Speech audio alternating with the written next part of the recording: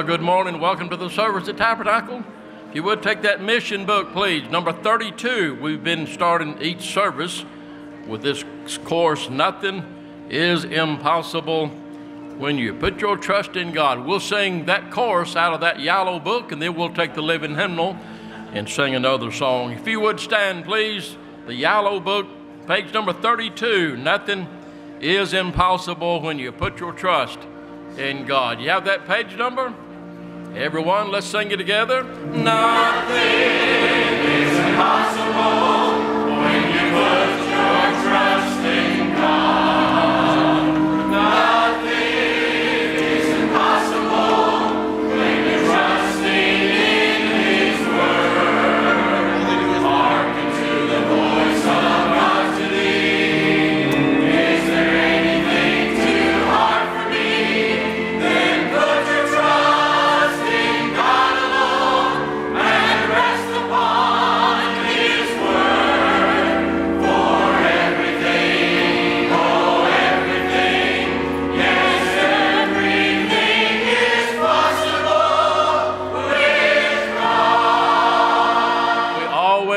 it through twice. Let's do it again. Lift it up on stanza one together. Nothing is impossible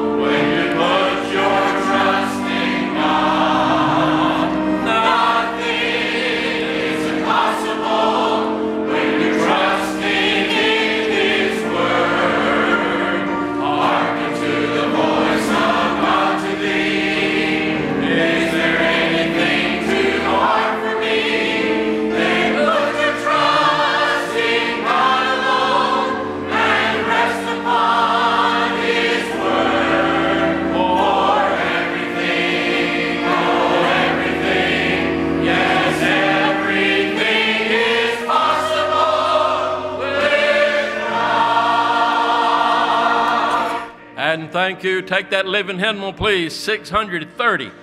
Hymn 630. Sound the battle cry.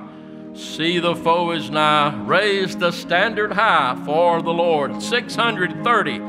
We'll sing all three stanzas of this good song. You have the page number. Let's sing it together. Sound the battle cry. See the foe is nigh. Raise the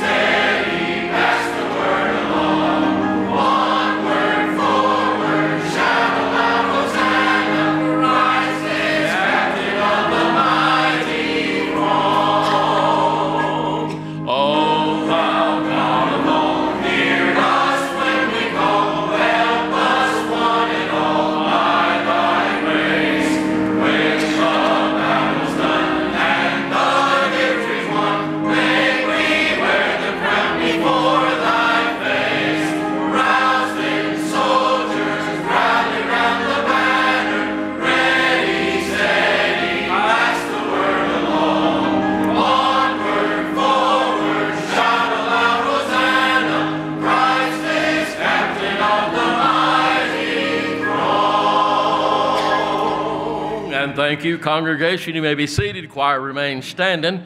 We'll sing in the mission book, number five. Here's the song that uh, in the tune of Battle Hymn of the Republic, but Dr. Truax repenned the words, and we're singing his words to the tune, okay? So, mission book number five, till every tribe shall hear. And you pray now for the choir. Choir practice this afternoon at 5 o'clock. Keep that in mind. If you sing in the choir or if you're out in the audience singing in the choir, you be here at 5 o'clock. We'll run over some songs for this week. God bless you.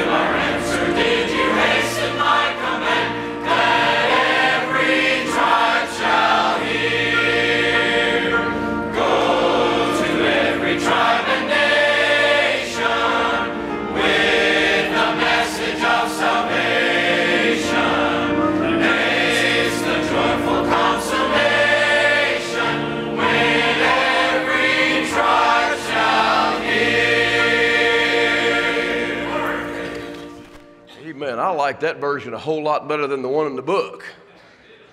Amen. Brother Truax improved on that. Can't improve on the King James Bible, but he did improve on that song right there. Amen. Amen. Good to see you. Man, we have people in church today, churches all over the city canceling uh, their services, and I'm glad that you went ahead and, and uh, made it your uh, place to be here. Appreciate that. Good to have uh, my brother in law and his wife here, and glad he's not out on a ship somewhere in the Atlantic Ocean having to fight Florence off right now. Amen.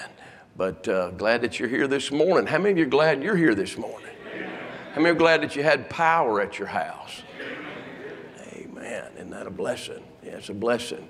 Um, uh, men, you go ahead and come, and as they're coming this morning, I uh, just want to make mention on the table to my left, there's a box that has gift cards in it that we're going to give to missionaries' wives.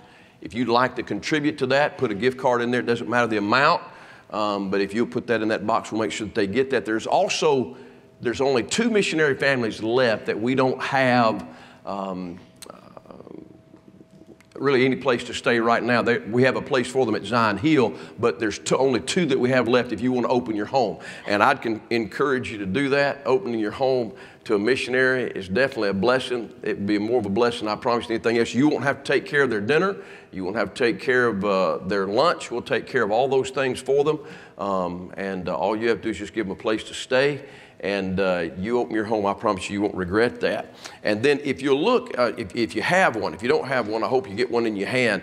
Um, our conference bulletin gives you a schedule of events in there. Wednesday, um, Thursday, and Friday, we have dinner for the missionaries that are going to be here with us. And uh, we'll provide that for them. And then there'll also be a lunch for them every day for the missionaries that are going to be with us. And then on Saturday, we're going to have an an international meal for the church at 11 o'clock. And we want everybody to come for that. Everybody welcome to come for that. We're, we're going to provide the food. You don't have to bring anything. I was told that uh, if I didn't make that clear that somebody was going to bring balut. How many of you are, have never had balut? Would you raise your hand? How many would like to try balut? Would you raise your hand? you should have prayed about that volunteering right there. i tell you that now. Balut is a 21 day old duck egg that has been pickled. It's a delicacy in the Philippines. They say that it's full of vitamins. Kind of reminds me when I was five and mom put the big spoon of English peas and okra on the plate. Said, it's good for you. Yeah, it's good for you. Tastes, tastes terrible. Amen. But, and then Sunday we'll have service. We will have a two, uh, we'll have a one o'clock service on Saturday. So we'll have service every uh, day, Wednesday, Thursday, Friday, Saturday, and Sunday. A lot of missionaries are going to be here, and uh, their names are right inside the bulletin where they're going to. We support almost half of them. So, want to encourage you to be here for that and uh, ask God just to help us. I've asked Brother Sam uh, Todd to come just say a word about how God has uh, helped him with giving to missions. You've heard a lot of people talk about their giving to missions, and uh, here in just a little bit, I'm going to try to get a card into all of our uh, people's hands about your faith promise giving. But I've asked Brother Sam just to come say a word about that, and Brother Todd, when you finish, if you just go ahead and ask God's blessing on the offering. Welcome back. Preacher always has a way of surprising people. Uh, I guess I would start uh, a lot of people know that I grew up in Africa and spent quite a few years there, probably around 16 or 17 years there. But uh, Faith Promise really didn't have an effect on me, I'd say, I would say, till about 2006. Uh, um, missionary friend of mine, where he, he just helped with a lot of missionaries, he was kind of in my position. But uh, he called me and said he had a friend coming from Mexico, and he wanted me to send him some money to help him get from Mexico up here to, you know, Walterboro area, around Charleston, South Carolina and you know to help him get there. And I says, well, that wasn't very a very smart missionary if he left one place and came to the other without enough money to get there. But he kept on calling me back, and I finally did that afternoon. Uh, the very next day at work, uh, working for myself. Uh, this is back in 2006. I had more work than I could handle. And the Lord told me next day, He says, Whenever I ask you uh, to do something for a missionary or for missions or anything in that category, just to do what I ask you to do, and I would say uh, from that little testimony, not to take a lot of the time here, uh, I would like to encourage uh, anybody here to uh, just to pray and seek the Lord's will. If it's a little bit toward faith promise or what He would want you to do uh, for missions or faith promise or anything in that category, that the Lord will bless you and He will give you more than your heart has ever desired. He'll give you the house you've always wanted. He'll give you the car down to the color that you've always wanted as a child or a teenager or whatever. God will supply your needs, but He'll also give you your heart's desires.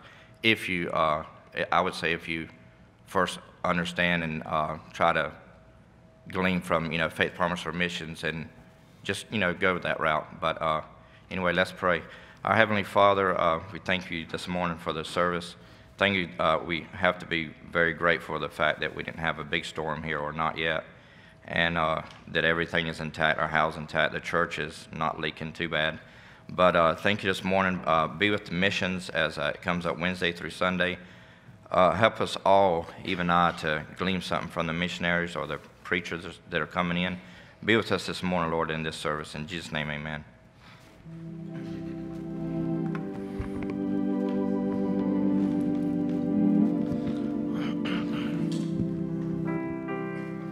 Many years I longed for rest, perfect peace within my breast.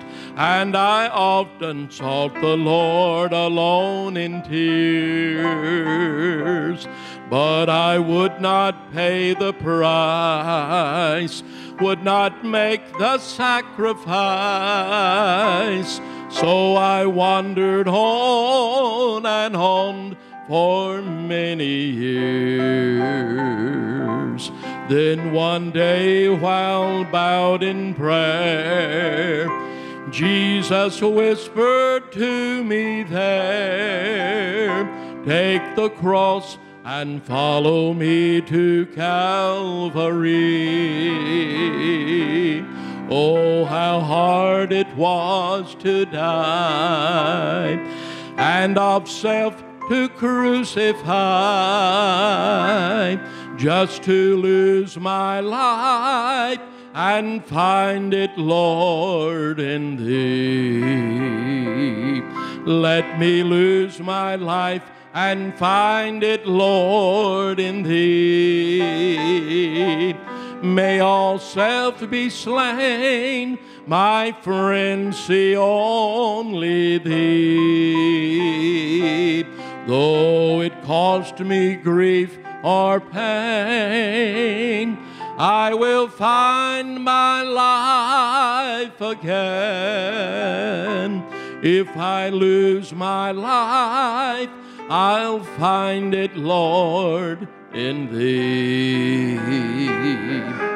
Lord, I would not stand alone when I bow before Thy throne. Let me bring, dear Lord, at least one soul to Thee. Here I give myself away. Take me, use me, Lord, I pray. Help me lose my life and find it, Lord, in Thee. Let me lose my life and find it, Lord, in Thee.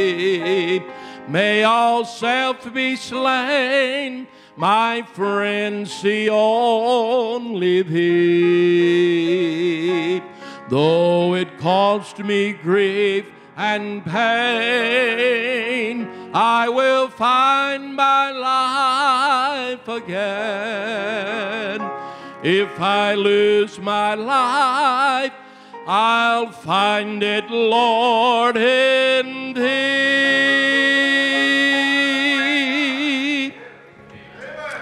Let's sing again. 592. We'll stand, please. I love to tell the story. Will be my theme in glory to tell the old, old story of Jesus and his love. Then we'll let the choir go down. Then the pastor will be here with the message this morning. 532 is the page number. You there? Let's sing it together. I love to tell the story of unseen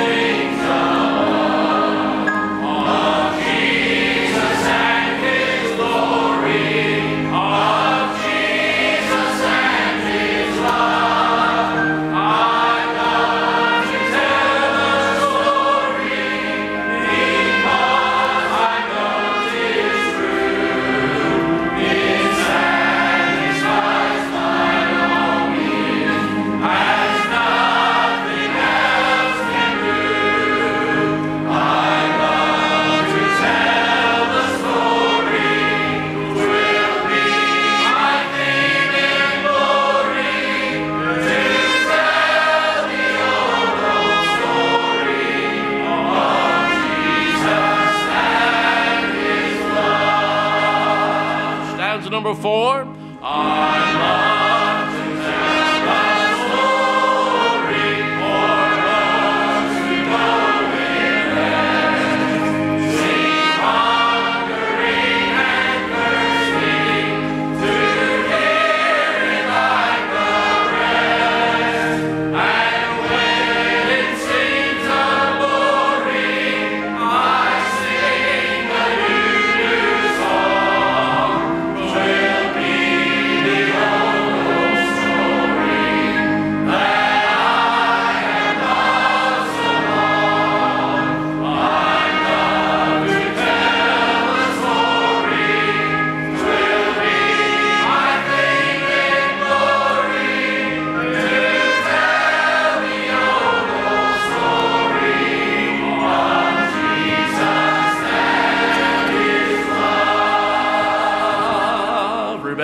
standing. The choir's coming down to join you.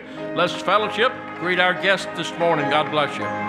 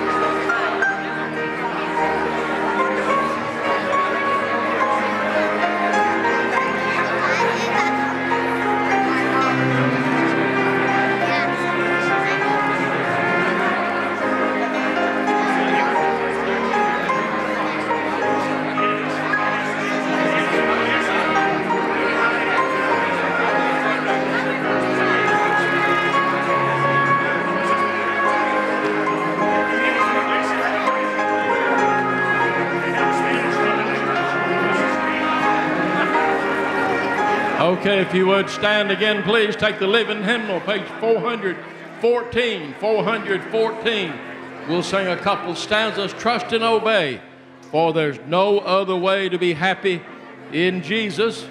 414. Everyone singing together on stanza one. When we walk with the Lord in the light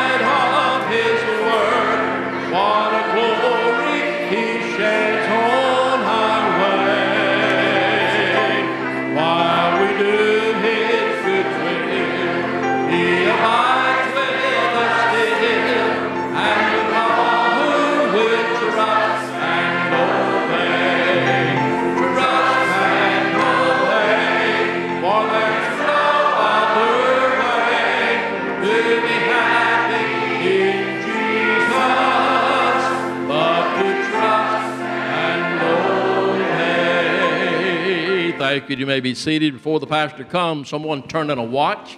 Looks like maybe a lady's watch. And so if this is yours, you come claim it after the service. We'll be glad to get it back to you. God bless you. Amen.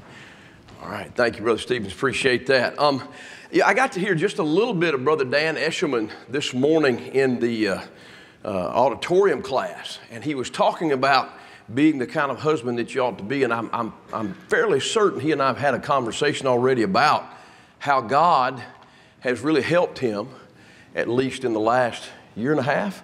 And, uh, you know, in being able to get things turned in a, in a better direction. Not that they're necessarily bad, but in a better direction. And, uh, you know, I, I, praise the Lord for somebody being honest about that. But I, you know what else I appreciate? I appreciate having a book that works. You know, there are a lot of people that have a theory about marriage, they have a theory about raising children, they have a theory about how they should run their finances, but the Bible gives you the answers for those things. And I don't know if you heard uh, what he had to say this morning, but I'd encourage you to, uh, to go ahead and get a copy of that if you could and listen to it. I want you to take your Bible this morning, go to Acts chapter 18, if you would. Acts chapter 18. And uh, we, have, we have guests that are here this morning, and um, I'm glad that they're here. We probably have several that are listening um, maybe around the state because of the outages as far as um, the churches that have canceled services. Hopefully, some of them got power. If they have no power, we can't get to them with live stream um, unless they've got their phones charged and we get to them through the WTBI app. And uh, amazing world that you can communicate with people on the other side of the world by using a little app on your phone. I thought phones were supposed to be for communicating with people. And uh, you know now you can you can bank on your phone. You can do all kind of things. And speaking of banking, if you are a member of Tabernacle Baptist Church or if you are a permanent guest, um, we're, we're glad you're here. I want you to get this in your hands today. And uh, our ushers are going to come by and they're going to put this in your hand. I want you to pray about your faith promise. Uh, we won't receive the faith promise offering until Sunday of this coming week, but uh, just you fellas, y'all just start passing them out from the back to the front, however you want to do it, right in the middle. And all of our members, I want you to get one of these and I want you to take and I want you to pray about what God would have you to give. My wife and I don't just sit down and say, okay, let's give this amount, look at our finances. We pray about what God would have us to give. And I, I don't want you to give a penny more than what God would have you to give. I want you to give exactly what God's put on your heart. Now, if you're a teenager, you're welcome to get one of those as well, but we want to get that to everybody. And, and really, the faith promise, uh, there are all sorts of numbers on the right hand side. You can put down anything you need to write in that blank and uh, what you're going to give each week. And uh, some of you may give monthly. You can write that on there. But uh, I just we want you to pray about it. Pray about it during the conference. Um, my brother is going to be here preaching on Wednesday through Saturday. And uh, he honestly is, uh, he is one of the best preachers on missions, one of the best preachers that I know anyway. And I'm excited if you get to hear him. I told you you could help me out that that'll just a little bit. You can go to him and ask him how much older he is than I am. That would really play well in my family if you could do that. And uh, he's my younger brother but uh, gave his life to the Lord when he was 15, never went out in the world, and God's just greatly helped him in his preaching, particularly in missions. He's been on the mission field, and now he's back pastoring uh, where I was privileged to pastor for 22 years there in Alabama.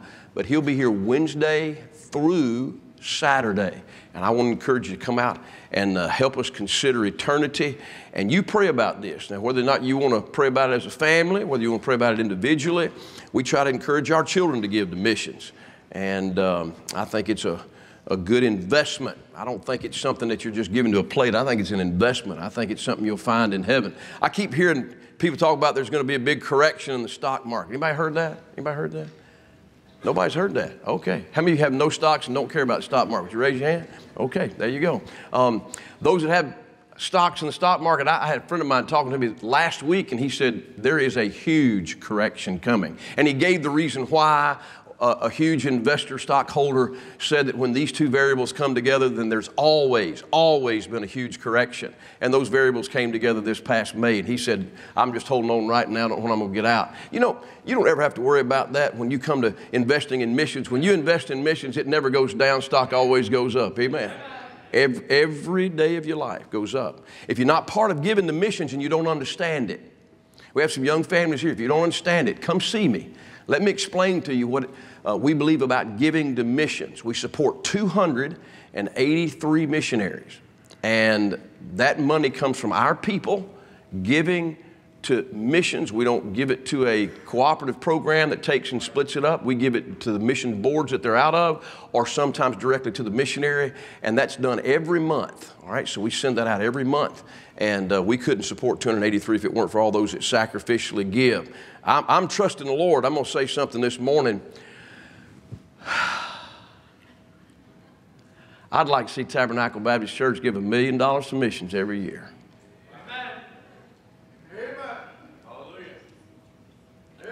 Say, well, we need to go out and find us some wealthy people.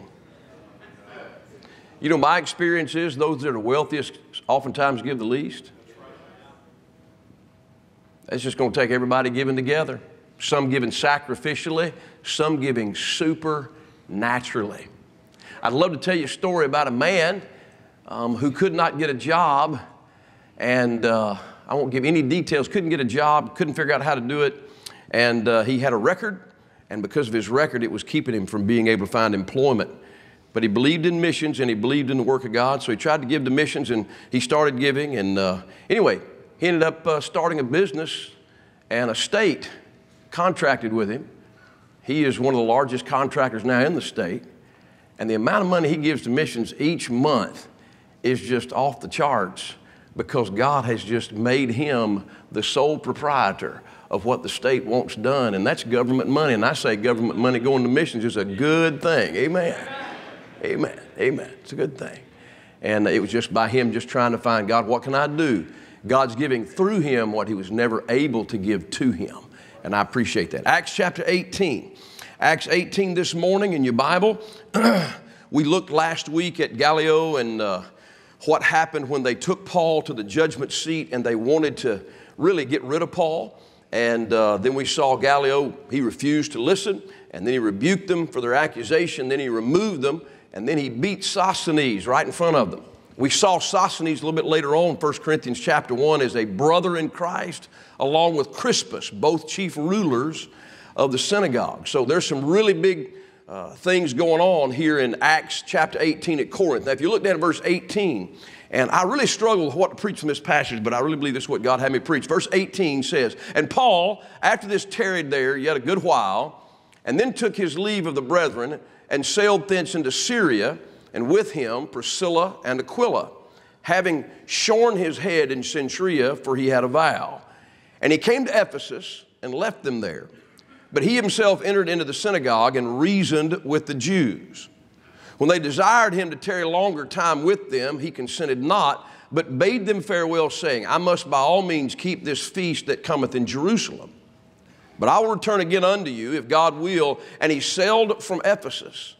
And when he had landed at Caesarea, he had and gone up and saluted the church, he went down to Antioch. And after he had spent some time there, he departed and went over all the country of Galatia and Phrygia in order, strengthening all the disciples. I want to preach this morning about the heart of what I believe to be the greatest missionary in the Bible. And I want to look at his heart this morning for just a little bit, especially our hearts going into missions conference and considering what we're going to do for a year for the cause of the gospel in Christ. Would you pray with me? Ask God to help me this morning. Lord, I ask you to help me this morning. Those that are listening today, I pray you'd help us to give them good instruction from the Bible for your people seated here this morning. I pray, God, they'd feel the presence of your Spirit and Lord, that you would help us as we look into the Bible today and not look at it as a book written by men, but look at it as a book written by your hand that has something in it that could help our lives and help our heart. Lord, you said the heart was deceitful above all things and desperately wicked. And God, we want our heart to be made like unto yours. We want a new heart. Lord, we want our heart to be bent toward the things that you love and away from the things of the world. I pray you to help me to make it clear this morning through the power of your Spirit. In Jesus' name, Amen. I think most of us would agree that Paul loved the church. Could you say amen to that? Paul loved the church. Jesus loved the church. That's stated in Ephesians chapter 5. But Paul loved the church. And the reason you could tell how much he loved the church is by what he does for the church. If you look there in verse number 18, the Bible says, And Paul, after this, tarried there yet a good while. I, I really think that Paul wanted to settle those Corinthians. Because if you go right back up above it, you have Sosthenes being beaten. You have all these Jews that are upset and causing an insurrection. And I think he just wants them to be settled. He's going to spend the time there, which is time. After this, tarried there yet a good while. He's going to take the time to try to comfort their heart, to try to calm them down, to try to get them to know, hey, look, everything's going to be good, everything's going to be all right. And, and I appreciate people that have that ability, that they take time with others. Sometimes it might be when a, a spouse dies, sometimes it might be when there's bad news given to a family. And there'll be somebody that'll come alongside and they don't have any answers, but they'll take the time to spend with somebody and by their presence just say, hey, listen, I'm here for you. We're going to work through this thing and just to kind of settle them. Paul could have just left, but he didn't. He's tarried for a while. He took something very valuable, his time, and he spent it with these Corinthian believers, and he wanted to settle them. And then notice not only that, but look what else he says in verse number um, 22. The Bible says this. And when he had landed at Caesarea, I mean, he's going to the church of Ephesus, he's going to Antioch, he goes to Galatia, verse 22. And when he had landed at Caesarea and gone up and saluted the church, he went down to Antioch. He didn't have to. He went in and saluted the church. Hey, I'm here, guys. Just want you to know, glad to hear y'all still doing the same thing. He's just, again, he's trying to settle them. Next verse, verse 23. And after he had spent some time there, again, he's spending time, he departed and went over all the country of Galatia and Phrygia in order, strengthening all the disciples. All right, so he's going and now he's trying to strengthen them. He's trying to take truth and he's trying to put it into their heart to build them up and to strengthen them. They didn't have Google, they didn't have the internet. All right, they were more isolated than we've ever been. And when you go into a place and you give the gospel, people get saved, the opposition rises up. Paul wants to settle them, so he spends time doing that. And then he takes the time to strengthen them, to teach them the Bible. You know, Jesus told Peter that same thing. When thou art converted, strengthen the brethren. I want you to spend time, Peter, strengthening some other people. Listen, how many of you could say this? There's been somebody in your life that came alongside you and put strength in you when you needed it. Could you say amen to that? Maybe at a low time, maybe they taught you, maybe they taught you some principles from the Bible that you didn't understand, maybe about finances, maybe about marriage. I remember years ago a man came to my office and he hadn't been saved very long, he or his wife, neither one. And he came to me, he said, Preacher, you talked about husbands loving their wives. I don't know how to do that. Would you teach me how to do that? Now, he wasn't talking about in the worldly sense. He's talking about from the Bible. How do I love my wife? What do I do? And so I told him, I said, you give her $100 every now and then. I told him to give her flowers from time to time. I told him to date her. I told him to take her out to eat. I just told, said, look, just love her. Give yourself to her. And I told you, you don't have to have some manual. But then we sat down with the Bible and we looked at some things about Jesus loving the church in Ephesians chapter 5. And I tried to pass those along to him. And what I'm saying is, Paul is not just saying, okay, glad we got a church started in Galatia, do the best you can. No, he takes his time and he sits down and he teaches in Galatia, he teaches in Phrygia, he teaches in Antioch, he teaches in Caesarea. He teaches in Ephesus. He teaches at Corinth. He's trying to strengthen the brethren. All right? And the reason I think he's doing that and taking the time is because he loves the church. When you start spending your time on someone or on something, your heart is going to be bent that direction. The Bible says, where a man's treasure is, there will his heart be also. I love Tabernacle Baptist Church. How about you? Somebody's going to say this week, why? My goodness, we come Sunday morning, Sunday night, and Wednesday. Why do we need to come Thursday, Friday, and Saturday? I'll tell you why. Because we love the church. Amen. I like to be here. I enjoy being here. I'm here during the week, during the day, sometimes coming here when nobody else is in here walk around inside, talk to Jesus, get up here and pray at the pulpit, walk around and pray over the pew that you're seated in. I enjoy being in the church. I like this place. I love this place. And I'm going to tell you one of the reasons why is because the church has done a lot for me. I got my wife at the church. I didn't get my wife through the internet. Now, I'm not saying you can't do that, but I tell you what, I would pick the church 10 times over than the internet. Amen. All right? I got my training at the church. The best friends that I have in life, I got at the church. I was saved as a result of a Bible believing preacher preaching that Jesus saves sinners from their sin. I love the church for more than just one reason. It's not just cultural. And Paul gave his heart to it, so he spent his time there. Uh, it's been years ago, I had somebody say, Preacher, we spend too much time at church. I think people spend too much time at the Little League ballpark. They spend too much time at Walmart. They spend too much time online.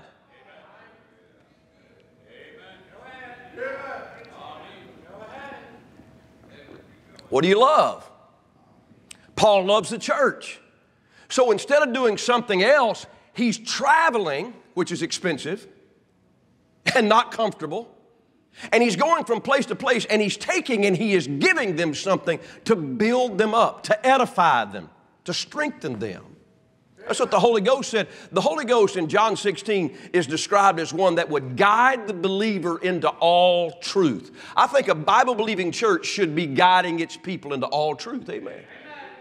And so Paul's saying, look, I'm going to spend time. So he's trying to strengthen the church, settle the church. Let me give you a verse to write out beside that. It's in 1 Peter. I think it's a great verse and sometimes applies to our lives when things are not going the way we want them to go. 1 Peter chapter 5, let me read verse 10 to you. The Bible says, But the God of all grace, who hath called us unto his eternal glory by Christ Jesus, after that ye have suffered a while, make you perfect, establish, strengthen, settle you.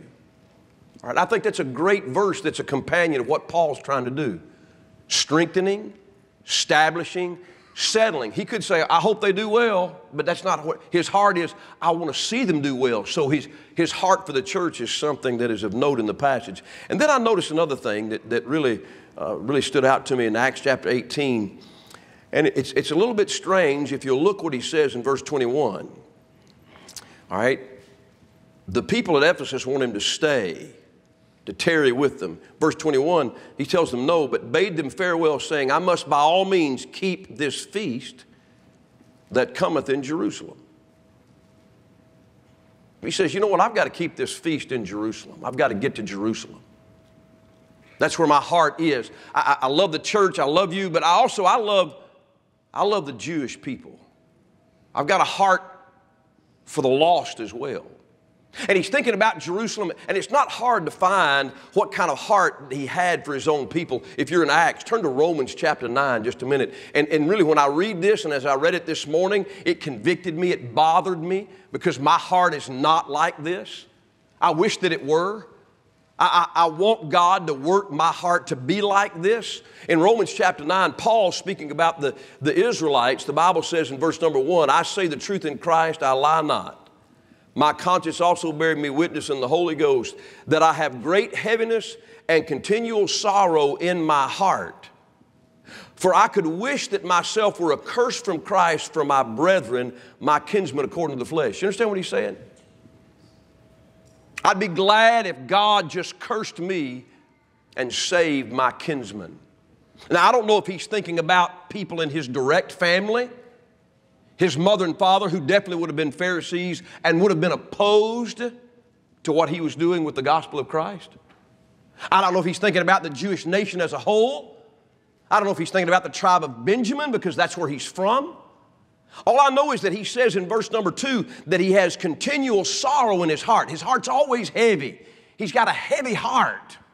I remember uh, years ago we had a, a, gentleman that had led uh, several Roman Catholic uh, people to Christ in the same family. And one of them ended up being a missionary out of our church. And so I asked this man to come and uh, speak at a, a men's breakfast. And he did, but when he did, he had tears in his eyes talking about these guys that he'd led to Christ. So I asked him to come back to our Sunday school assembly, much like we have. And I asked him, Would you say something to our people? And he got up, and this is, and this is an older gentleman. His name was Mel Pratt. And he got up and he said, he said, Well, it's good to be here today. And and then he stopped and he started, he started getting a little bit broken in his voice and started quivering with his lips. And he said, uh, Souls are so precious to Jesus Christ. Amen. And that man, for just a couple of minutes, just talked about how valuable those souls were and how privileged he was to get to see those men trust Christ. He had a, a burden that was inside of him, it wasn't something that he had to work up outwardly. it was something on the inside. And Paul says here in chapter 9, he says, I've got that in my heart. And the reason I have that is because my brethren, according to the flesh, are lost. Some of you have a lost brother, some of you have a lost mother. I'm sure that weighs heavy on the heart. Look at chapter 10. Paul says the same thing here. Chapter 10, verse number 1 Brethren, my heart's desire and prayer to God for Israel is that they might be saved. Said, I've got a burden for my people. I've got, a, I've got a desire to see them saved. He's got a heart for people that are lost, even people that have been very confrontational to him, that have opposed him, that have hurt him, that have blasphemed him, that have falsely accused him. Paul has this heart for people. He's got a heart for the church, but he's got a heart for the lost, particularly his people. Go back to Acts chapter 18. I'll show you another unique thing about that. In Acts chapter 18, and, and again, reading it, just reading through it, it, it almost doesn't seem to fit in the passage, but it does.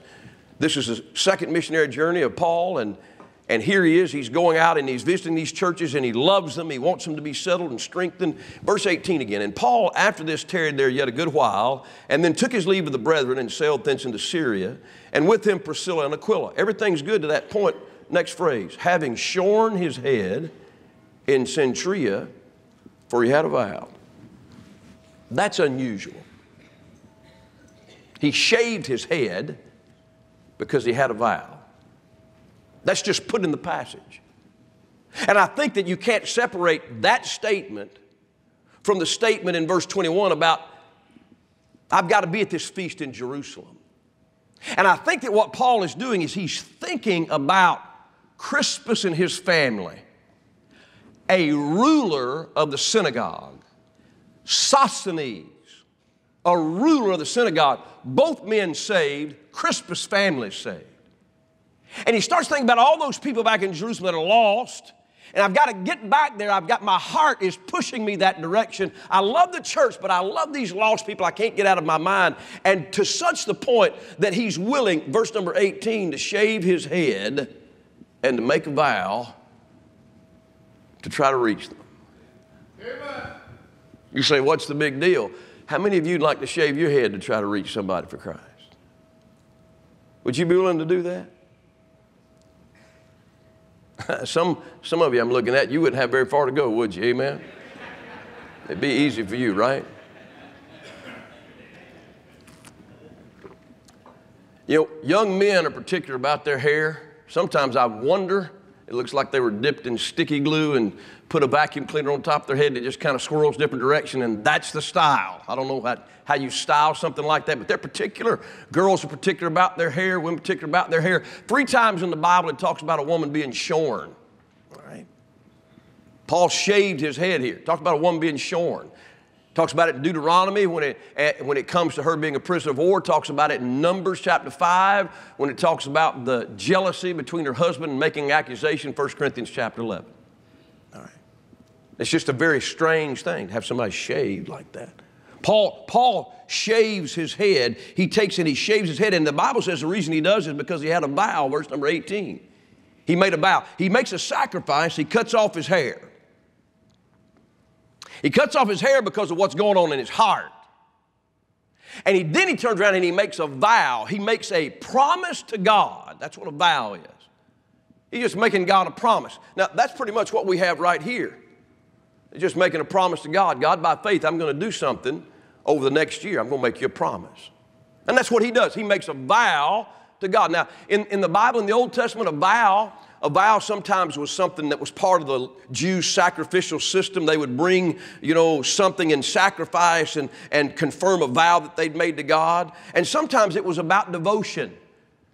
They say, Look, I love you, Lord, so I'm going to give this land. Barnabas sold some land that he had, took and brought the money and set it at the apostles' feet. Sometimes it was about giving one of their children. That's a famous vow in the Bible. Hannah. Hannah made a vow to God. That's what she did. She said, God, if you'll give me a child, if you'll do this for me, then I will give him back to you all the days of his life. And that's exactly what she did. She took Samuel to Eli, a man who was not a godly man, and gave him her son Samuel because of a vow she made. There are a lot of vows in the Bible. There's a vow in Judges chapter 11. Jephthah. Jephthah says, God, if you'll give me a victory, I'll sacrifice the first thing that comes out of my house. Terrible vow that he made. But the Bible says that he kept it. Jacob made the first vow you find in the Bible in Genesis chapter 28, and he's asking God to bless him. In fact, put a little mark right there in Acts 18 and go, if you would, to Genesis 28, just so you can see that for a moment. Genesis 28. Would you turn there? Are you turning in your Bible? Are you looking? Are you looking? Genesis chapter 28. Jacob. Jacob wants God's blessings. Jacob is going to see uh, Esau, and he definitely doesn't want to do that because he knows Esau wants to kill him. And uh, so Jacob, he, um, he's preparing to do so. And in, in Genesis chapter 28, look down, if you would, at verse number 20. The Bible says, And Jacob vowed a vow, saying, If God will be with me and will keep me in this way that I go, and will give me bread to eat and raiment to put on, so that I come again to my father's house in peace, then so here's what he's saying God, God, I want you to be with me. God, I want you to keep me in the way I'm going. God, I want you to give me food and raiment, which the Bible says are necessities of life. 1 Timothy chapter 6. And he says, and if you'll bring me back home to my father's house, if you'll do those things, I'm going to make a vow to you. All right, look what he says. Verse 21. Then shall the Lord be my God, number one. Number two, this stone which I've set for a pillar shall be God's house. Number three, and all that thou shalt give me, I will surely give thee or give the tenth unto thee. So that's what his vow was. God, if you'll do those things for me, then here's what I'm going to do for you. You're going to be my God, and I'm going to make this pillar your house, Bethel, and I'm going to give you a tenth. If you'll be my God. Now, God in Genesis 31 reminds him of that. He remembered the vow. Let me ask you a question. Now, don't answer it out loud. Have you ever made a vow to God? You ever made a promise? I'm not talking about faith promise. I'm talking about, have you ever made a promise to God? People do that all the time. And really, they get into a spot. Isn't it amazing how that we're against prayer in school and we're against the Bible in school, but when we were going to go to war with Iraq and Desert Storm, we got little yellow ribbons tied on everything and stuck on the back of people's cars saying, Please pray for our troops. When it came time to fight and be in harm's way, then we believed it was time to pray. And all I'm just saying is this listen, there are a lot of people make vows in their lifetime. You know, the Bible says the mariners made a vow to God. They're trying to make a vow to God. They're trying to get Jonah to the shore. They're lost. They're trying to get Jonah to the shore. He's a, he's a, a backslidden prophet.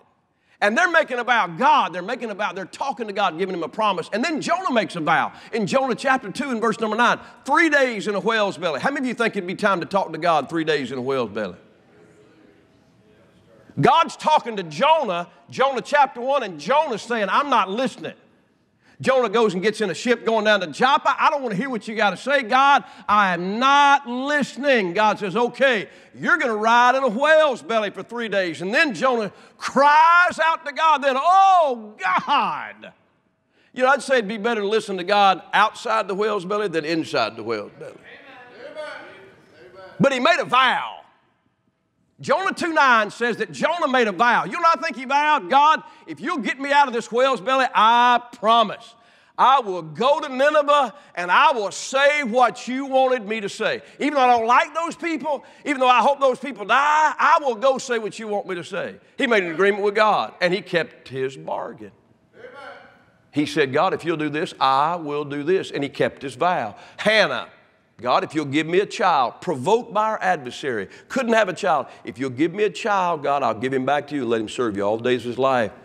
And she kept her vow. Jephthah, awful vow in Judges 11.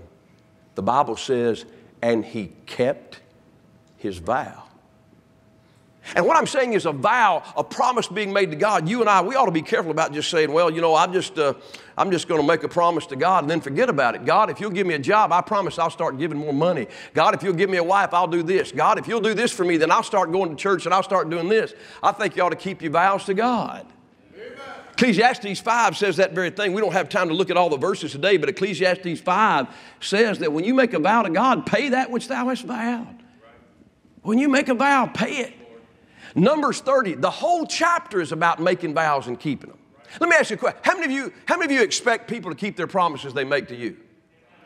Well, let me ask you this question. How many of you, since it's 2018, need a lawyer and somebody to put a form out there and sign it in triplicate so they'll keep their promises made to you. People say all kind of things don't keep their promises. All right, we don't enjoy that. Someone says, Hey, I promise you, I'm going to give you tickets to this Clemson game. They, they tell you, get an excuse, they give you a reason why. And you say, Boy, I just really love those people. Somebody says, I'm going to come by, I'm going to take care of, I'm going to clean up your yard for you, cut your grass, do whatever, and, and they don't do it. Somebody says, Listen, I tell you what I'm going to do for you. I'm going to give you this, I'm going to do that for you, and they don't do it. People that don't pay their vow, God listens to that. Six times in the book of Psalms, David says that he paid that he had vowed. Twice he said he performed the vow. All right? David kept David made vows and kept them. And I know sometimes people say, well, preacher, I just, I just don't really think that, that, that I, I don't really believe in signing your name to anything. Well, you don't, you don't have to sign your name to this at all right here anywhere. You don't have to sign your name. Wouldn't that be a good way to take out a car loan? Come on, wouldn't you, wouldn't you be gladly go out and take a car loan and not have to sign your name because then you're not liable for it, right? It's, it's funny too now. People say this, preacher, I just don't believe in making a commitment. You, you, you don't have a house payment? You don't have a car payment? You don't have a cable bill payment and a cell phone payment? Y'all getting real quiet this morning. I just don't believe in making vows, preacher. Sure we do. We make all kind of promises about repaying all kinds of things. I think it's right to make a promise to God about getting the gospel around the world. Amen. I think you ought to pray about it. And, but I think what Paul did, he made a promise to the place that he sacrificed. You know, somebody had said it's a Nazarite vow. Couldn't be a Nazarite vow. Nazarite vow, you know, he's not going to have, he's going to let his hair grow out, not going to shave it off. So it's, it's not a Nazarite vow. Go back to Acts chapter 18. Acts chapter 18. I'll tell you what I think it is, and then and, and that's really the heart of my message. He loves lost people so much, he's willing to make a vow. I'm going to take and make God a promise. All right, I love the church, but I love lost people so much, I'm going to make a vow to do something about it. Acts 18. All right, Acts 18, the Bible says there again, having shorn his head in Cenchrea, for he had a vow, verse 21, I must by all means keep this feast that cometh in Jerusalem. Now, there's a little bit of a reference to that over in chapter 21. Turn just a few pages to your right. Chapter 21, look what the Bible says. Paul ends up in Jerusalem. And when Paul gets in Jerusalem, they begin talking about how the Jewish people know that he is, that there's being said that he is an opponent to them, he's opposite them. Look at verse 18. The day following, Paul went in with us into James, and all the elders were present. And when he had saluted them, he declared particularly what things God had wrought among the Gentiles by his ministry. And when they heard it, they glorified the Lord and said unto him, Thou seest, brother, how many thousands of Jews there are which believe, and they are all zealous of the law. And they are informed of thee that thou teachest all the Jews which are among the Gentiles to forsake Moses, saying that they ought not to circumcise their children, neither to walk after the customs. What is it therefore? The multitude must needs come together, for they will hear that thou art come. They said, Paul, there's a lot of people think that you're opposed to Judaism.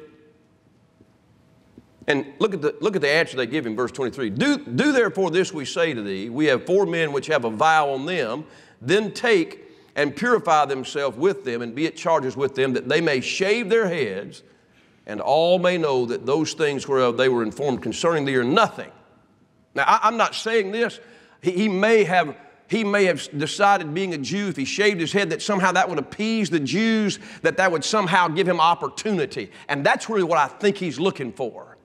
I think he wants an opportunity to witness to the Jews so badly, he's willing to shave his head and to make a vow to God God, I'm going to spend the rest of my life trying to reach these people, whatever it takes, because he's right back at the synagogue. He cares about them.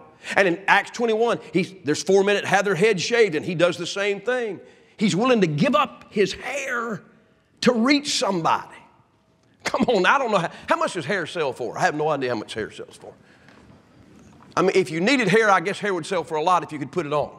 I do know this hair transplants cost a lot of money. I don't have any idea what a wig costs. I don't have any idea what that costs. Um, um, I, I, you know, I, I, I, don't know what it costs. I, have heard that people sell their hair over in China. They sell their hair. They put it on dolls that we have here. And so, you know, I don't know how much you get paid for that. How much would you get paid for cutting off your hair? All right, but I just know this. I would not be willing, there's a lot that I would not be willing to do to have my head shaved. If, if I got to shave my head to prove I'm a good pastor here, I'm keeping my hair. You say, well, you just don't love us. I'm trying.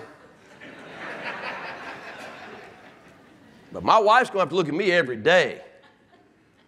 My children, I got one of my children, I won't tell you which one. One of my children, they like to picture me bald. I don't know if this is some premonition or what's going on. They'll take and they'll pull my hair back. and they'll say, Oh, you look funny. And I'm thinking, Yeah, this is what they're going to be saying another four or five years from now. My wife's got to look at something. And I, look, I've, I've even decided I'm not going to do the wraparound thing like people in, you know, in politics do. I'm, I'm if, if, if I start losing, I'm shaving it. Y'all going to have a bald headed preacher. How about that? First time since you ever started the church. How about that?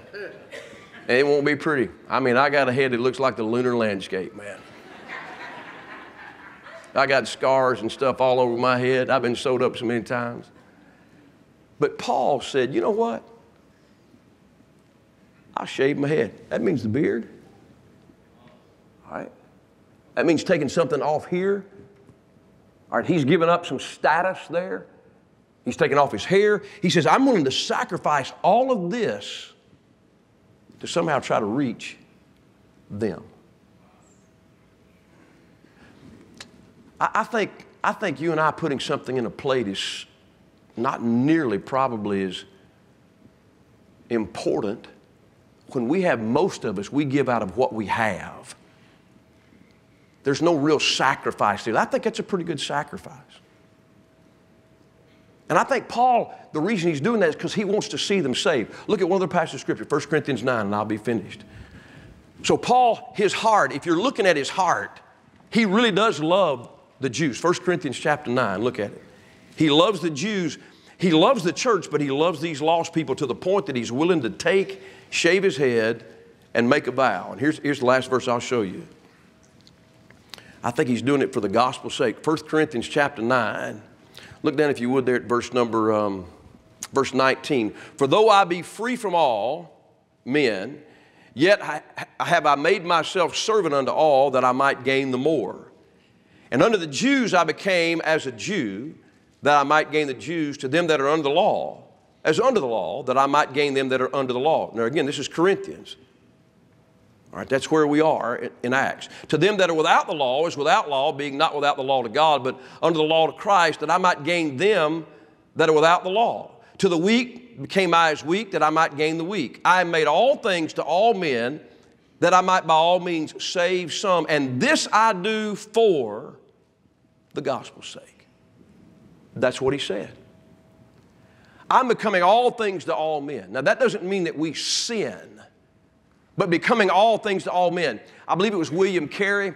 William Carey took and uh, grew his hair and pulled it like the, the Chinese people that he, he ministered to. Now, that would not be received here, but it was received there.